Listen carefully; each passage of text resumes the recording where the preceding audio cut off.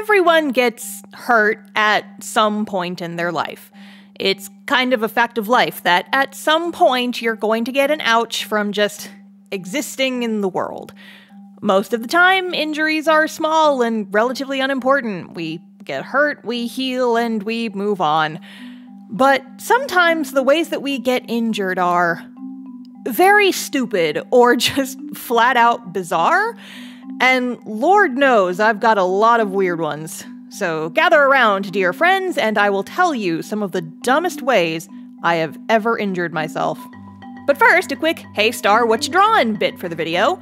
The art playing in the background is the art for my Patreon's mail club for December 2022. It's unfortunately no longer available because it took so long for me to get this video out. I was so swamped with cons and family obligations and finally catching the big C word disease in December that I pretty much just gave up on getting any new stuff done for the channel before then. But if you're intrigued by the art or the characters, you should check out my webcomic Castoff, link in the description. And we're moving right along to the actual video. So, for those who are squeamish, none of these stories will be too graphic, but I'll go ahead and get the worst one of them out up front. The only time I've ever broken a bone was when I was riding my scooter to class in college and got cut off by a truck who decided not to stop at a stop sign. I slammed into his passenger side door, going 50 on my little motorbike, and only ended up with a slightly broken wrist, a black eye, a few chipped teeth, and a bad concussion. I don't even remember the accident, just driving down the road and suddenly being on a gurney in the hospital staring at the ceiling and cussing out the doctors for not answering my questions. But the fact I was able to get away with only fairly minor injuries led to some of my coworkers at my old job to think I had some kind of super skeleton a la Wolverine or something. Oh, and a fun aside about this incident this happened in 2012, right around the time that the But You Didn't Have to Cut Me Off song was the hottest meme of the century. And I remember when I woke up in the hospital, my roommate was standing next to me, and when she told me that I had been in an accident after a guy cut me off in traffic, I immediately told her to take a photo of my messed up face and make a meme of it. I won't show the full photo because there's some blood and stuff in it, but here's proof that it exists, so enjoy that fun little tidbit. So, if you can handle that story, you can handle the rest of what this video has to offer, so let's get into it. This is the dumbest ways I've ever hurt myself, including that time I got stabbed by a bouncy castle. Let's go. The first time I remember getting really hurt was when I was in second grade. My parents, my brother, and I were hanging out at my grandparents' house. My brother was a toddler at the time, and he had somehow come across one of my mom's old twirling batons. It was a metal stick about a foot long with rubber tips at the end. He had been playing with it most of the day, and at one point during the evening, he just started spinning around with it. I was sitting on the floor watching TV when suddenly, wham! He hit the thing right into my eye. I didn't quite know what had happened, I just knew that I was very suddenly in a lot of pain. Uh, my parents were outside in the garage hanging out with the grandparents, and my eye hurt so bad I couldn't really stand up to go get them, so I ended up just screaming as loud as I possibly could, just bent over, hands over my eye, and shrieking until they eventually heard me and came running inside. They ended up taking me to the ER. Thankfully, the injury wasn't too bad. I think I had a slight scratch in my cornea or something that I had to take eye drops for a few times a day, and my brother wasn't allowed to play with the baton anymore. But thankfully, I was able to recover pretty quickly. Moving along to high school, I tried out a lot of different sports during my childhood, but the first one I ever really got into was when I joined Color Guard. If you're unfamiliar, if you've ever seen a marching band show and there's a bunch of people with flags running around on the field and dancing between band formations, that's Color Guard. I did that. I was even captain my senior year, which was pretty neat. But Color Guard isn't the safest extracurricular activity, and the main thing we did was throw flags and fake guns and swords into the air and then catch them. There's uh, a lot of potential for injuries there. All the color guard kids were always sporting pretty gnarly bruises from equipment accidents, and we wore them like battle scars. But what we were doing was still pretty dangerous, and there were some serious injuries occasionally. Thankfully, I never had anything super serious happen, but I did mess up my hand pretty badly once. We were practicing inside the school building, and I was working on my saber tosses. At one point, I threw my saber too high, and it hit the ceiling and started falling back down straight towards me. I reached out to catch it, but for some reason, reached out with the palm of my hand facing down. Uh, the saber fell onto the back of my hand, smashed into my knuckles, then bounced to the side and took a chunk out of the brick wall I was standing next to. The wall had been painted over a few times, and there was now a quarter sized spot of brown paint in the middle of the white brick wall. My instructor saw what happened, made sure I was okay, and then just silently put a piece of white electrical tape over the hole to cover the damage. And then I had to sit out with an ice pack on my hand for a while. That one hurt for several days, and I couldn't type for even longer, but I was worried about losing a fingernail, and thankfully that didn't happen, so could have been worse. Despite all the strange ways I've hurt myself, most of them have never left a permanent scar. Most of them. When I was in sixth grade, a friend of mine had a birthday party at her house. One of the birthday activities was playing with a pinata. They didn't have a good tree to hang it from, so instead they tied the pinata to the second story railing and had it hang down into their foyer, and each of us took turns putting on a blindfold and taking a whack at it with a broom handle. But at one point, I noticed a few pieces of candy had fallen out. I remember saying very clearly, Don't hit the pinata. I'm gonna pick up those pieces of candy to get them out of the way really quick. And then I hit the ground. I don't even remember feeling the broom handle hit my head. I was bent over grabbing the candy, and then suddenly I just passed out for a few seconds. When I woke up, all my friends were gathered around me, and I guess my head was bleeding a lot. Someone grabbed some paper towels and band aids to try and stop the bleeding, while my friend's mom called my mom so she could come pick me up. But, uh, here's the thing my friend's parents didn't speak very good English, and her being super panicked about an injured child likely didn't help. So the phone call my mom apparently got was basically just along the lines of, um, star hit on head there is blood. Please come. to which my mother panicked and drove straight to my friend's house thinking I was dying and was gonna get taken away in an ambulance with a chunk taken out of my skull. But when she arrived, she just saw me chilling, laying on the floor with a bunch of paper towels on my head.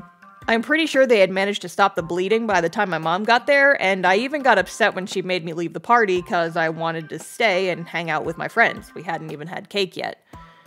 Anyway, my mom took me home and stuck me in the bath to wash off all the blood and look at the wound. It wasn't deep, thankfully, but there was a lot of blood because head wounds tend to bleed a lot.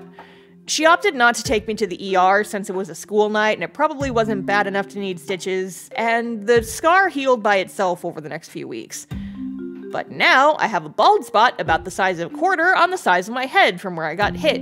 You can't usually see it unless I part my hair in a super weird way, but uh, it's there and it's very visible if I run my fingers through my hair the right way. And also, up until a few years ago, I used to be able to activate the ASMR tinglies on command whenever I touched it. I found out years later that this was nerve damage, but unfortunately, my nerves must have healed at some point because it, it doesn't work anymore. Now, whenever I touch it, it, it's just sore. Lame. This was the most significant head injury of my life, but it was by far not the only one. My most recent and probably funniest story happened a few years ago, right before I moved to Japan for my new teaching job. I would be moving to Shizuoka at the end of July and had quit my job at the end of June to give myself a few weeks to pack up my apartment and get all my affairs in order. Now, some important details for this story. Number one, I had quit my job and was currently between jobs slash unemployed. Number two, I had spent most of July moving out of my apartment and was living with my parents at the time of the story because all my furniture was in a storage unit. I still had my apartment, I was just not fully moved out of it yet. 3. My birthday was in June, which was less than a month before this incident occurred. A few days before the big move, some friends invited me to go ice skating. There was a nerds and cosplayers night happening at the local ice rink, and it would be my last chance to see most of them before leaving for several years. I wasn't really good at skating, but was happy to be able to spend some time with them before the move. When we got to the skate rink, I rented some skates and tried doing a few laps around the rink. I realized that I stumbled a lot when I was trying to go slowly, but if I skated faster, I was able to stay balanced a little easier. So I ended up trying to skate faster. And faster. And faster, and you see where this is going. At some point, when I was at max speed and thinking about how cool and competent I probably looked, I hit a gash in the ice and started to fall forwards. I tried to correct by leaning backwards, and, well, ice skates have little teeth that grip the ice at the front of the blades, but there's nothing to help you if you fall backwards. And since I was already going pretty fast, the fall was as magnificent as it was painful. My ice skate slid out from underneath me so fast that I saw my feet silhouetted against the ceiling in bullet time, and I had just enough time to think, well, that's not where those are supposed to be, before landing with my full body weight on the back of my skull. The ice rink staff saw what happened and pretty quickly came over to shuffle me off the ice and give me a quick exam. They were in the process of checking me for a concussion since I landed on my head so hard, and they started asking me questions. They asked me if I knew what day it was.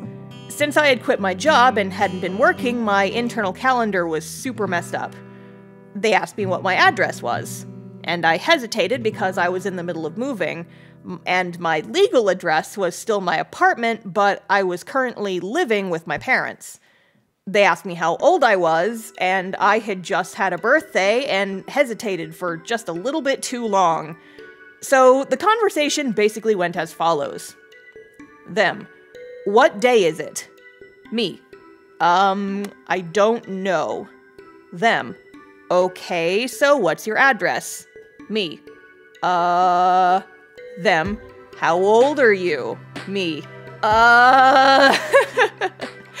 the two ice rink workers looked at each other like, yeah, this girl has a concussion and we need to call an ambulance. But in a panic, I blurted out, I don't have a concussion. I'm just stupid, homeless, and unemployed. They let me go and didn't call an ambulance, but I wasn't allowed back on the ice for the rest of the evening, which I think was fair. now, I said earlier that I've only broken one bone in my life, and this is true, but I once sprained my ankle so bad that it was basically broken. Cut to college orientation. All the students have been divided up into small groups based on our major, and our group leaders give us a quick tour around the city before sitting us down in a small park square. We play a few icebreaker type games before starting a challenge game. The idea is that all 20 of us will walk around, and one person is secretly it. The person who is it can kill other people by making eye contact and pointing at someone secretly. And then that person has to wait about three seconds, then pretend to die as dramatically as possible before sitting out for the rest of the game. And when it was my turn to die, I took my death performance very seriously. The whole nine yards, gasping, clutching my chest, and screaming dramatically and twisting my ankle as I dropped down to the grass. It was a little sore, but I figured I would probably be fine if I could just rest it a bit. However, there wasn't really any time to rest. After the game was over, we had to walk about a quarter mile to the school theater to watch a presentation, then back to the main assembly hall another half mile away. So instead of resting my aching ankle, I had to walk almost a mile on it before meeting back up with my parents. I could have said something to our orientation leaders, but again, I figured it was just sore and the pain would subside eventually. And then it didn't. When I met back up with my parents, they asked why I was limping. I told them how I had hurt my ankle, but it was fine, and I just needed to maybe put some ice on it. We got lunch in the school's dining hall. I propped up my foot on a chair, and to my surprise, the pain didn't go away. In fact, over the course of our hour long lunch, the pain got worse and worse until it was basically unbearable. And my parents ended up shoving me in my dad's truck and taking me to the ER. The ER staff ended up putting my foot in a pseudo cast. It was a fiberglass leg splint form fitted to the back of my leg, and then they wrapped it up really securely with several ace bandages. They gave me crutches and told me not to walk on it, and that I had to go back and see a specialist for a checkup in a few weeks. My parents were beside themselves and almost extended their hotel stay so they could stay with me and make sure I was doing okay for the first few days of college.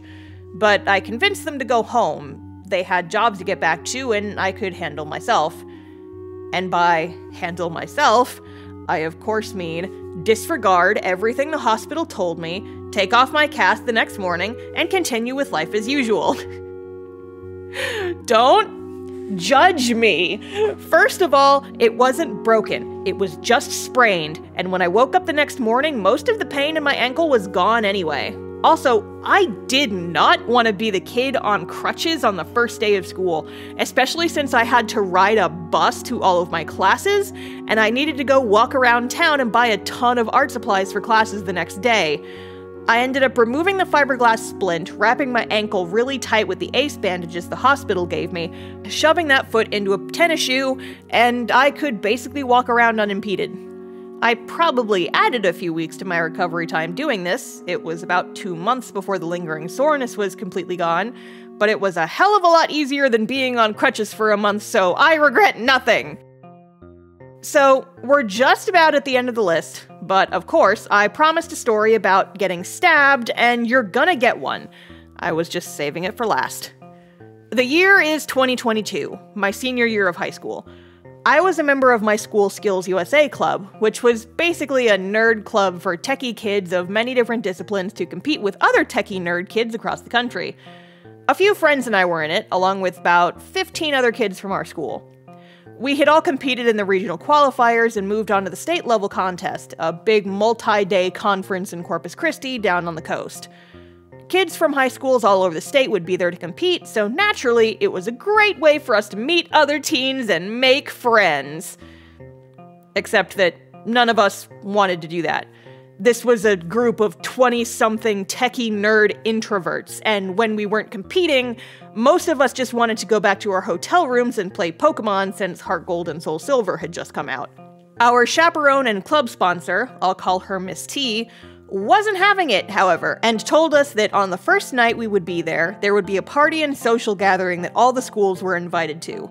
We whinged about not wanting to go, but she was determined to get us to socialize, and told us that if we didn't go to the party, she'd dock our grades for her class.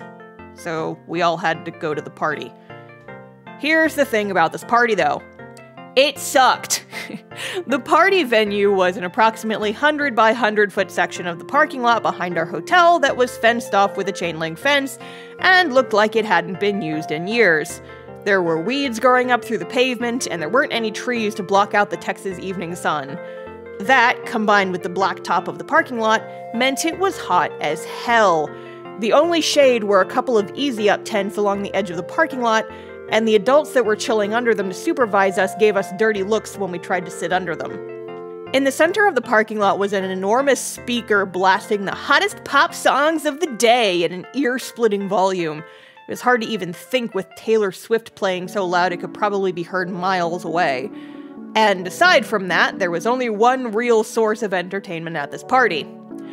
Four inflatable bounce houses lined up on one side of the parking lot fence. They had to entertain high schoolers, and they rented bounce houses. Which isn't terrible, but the worst part of this party is that our school was the only one that showed up. When we arrived at this quote unquote party, we all looked at Miss T and moaned that we should be allowed to ditch and go back upstairs to our hotel rooms. She had forced us to come so we could socialize with kids from other schools, and there weren't any kids from other schools here. But she was adamant that surely other schools would show up eventually, and made us all go in and enjoy ourselves. So, in an attempt to entertain ourselves, we started playing in the bounce castles. So, there were four of these things. Three of them were just your standard inflatable room types that were just big square rooms you could bounce around inside. But the last one was one of the big obstacle course types two lanes with various inflatable obstacles, including a 20 foot tall ramp you had to climb up and slide down on the opposite side that dumped you out at the exit. We ended up splitting off into twos and racing each other on the obstacle course one, cheering for our friends as they ran through the course trying to beat each other's times. and eventually it was my turn to go. I was up against one of the more athletic boys in the group, and while I had a little bit of jock energy from being in color guard, my flag twirling and dancing skills didn't translate very well to running an obstacle course. I think I ended up being a good 30 seconds slower than the guy I was racing against, and by the time I slid down the slide at the end of the course, I was exhausted, and I just slid down on my stomach in defeat. After my run was over, I got up, dusted myself off, and went back over to my small group of friends who greeted me with horrified faces and yelled, Star, oh my god, what happened? and I was confused because I didn't know what they were talking about until I looked down and saw that my shirt was covered in blood. It was a pastel yellow shirt with a brand new dark red and very visible blood stain on the bottom side that was gradually growing slowly bigger. Somehow, while I was running through the inflatable obstacle course, I had managed to stab myself on something, and it was now bleeding profusely. The cut wasn't deep or painful, so I hadn't noticed it at first, but sure enough, there it was, bleeding out and staining one of my favorite shirts. My friends dragged me over to the first aid session under the Easy Up tents, and they patched me up by basically just taping a piece of gauze to my stomach and telling me not to play on the bouncy house anymore, which, wow, super helpful. Thanks. The silver lining, though, was that my friends used my very visible and obvious injury to convince Miss T that I needed to go back to the hotel and rest, and since they were my roommates for the weekend, they should go with me so we didn't all get lost or mugged on our way back to the hotel. We had to use the buddy system after all, they had drilled that into us on the bus ride down here. We couldn't walk around individually, and I was grievously injured, so my two roommates had to come with me, obviously. Miss T seemed really irritated, as if I had stabbed myself on purpose, but she relented and let us go back to the hotel and skip the rest of the party. And all it cost me was a little blood and a fun shirt that I liked. I figured out a little bit later what had happened. As part of our uniforms for the conference, we all had name tags with little alligator clips that we attached to our shirts during the event. And during the party, I had taken mine off and attached it to the waistband of my jeans. Then, during the obstacle course, when I slid down on my stomach, it must have come loose and either snagged on my skin or stabbed into me when I laid down on it. Um, and it stabbed me just enough to cause bleeding, but I didn't feel it right away because of the adrenaline. Again, it wasn't a bad injury, it just happened to bleed a lot, and it didn't even leave a scar. Honestly, getting the medical tape off my stomach the next morning was way more painful than the actual injury. Seriously, though, that stuff is like duct tape. Have you ever tried to peel duct tape off of bare skin? It hurts so bad. Anyway, I eventually recovered from that horrifying and traumatic injury, and now I get to tell people that I got stabbed on a bouncy castle, which is a very fun icebreaker. What doesn't kill me makes me interesting at parties, and also makes for a fun story time video. So, dear friends, what's the most bizarre way you've ever injured yourself? Drop the story in the comments, and if you want more storytime videos or art content like this, you should hit that subscribe button. Okay, later. Uh, some quick notes for the outro. I wanted to thank you guys for helping me hit my subscriber goal for 2022. I originally set out to try and hit 5,000 subs before the end of the year, but figured it probably wouldn't happen because I wasn't really able to upload anything last month.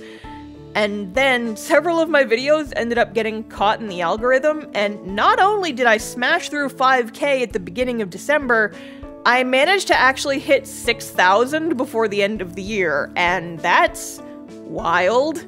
Like, YouTube is still one of my smallest platforms, but it just feels different than, say, TikTok or Instagram. I'm not sure why, it just does. So I guess I'll just say that I'm glad you guys like my silly little videos. Here's to a successful 2023. As for what's coming up in the future, I'm planning on doing Artist Alley reviews for both of my December cons, that's Anime Frontier and Holiday Matsuri. And then I will also be at Ikkicon in Austin this month, so I'll ideally be making a video about that one too. And I have a few more art storytime videos lined up, as well as a few tutorial-ish videos about art stuff. It's all kind of a work in progress, but I should have those out over the next couple of months. Lastly, like I said, this art was for last month's Patreon Mail Club, so unfortunately it isn't available anymore, but you can still read all 600 plus pages of my webcomic Castoff for free at castoff-comic.com, so please go check it out. My comic's 8th birthday is coming up soon, so uh, that's pretty neat. Anyway, that'll be all for me today. I hope you guys enjoyed the video, and I will see you next time. Goodbye.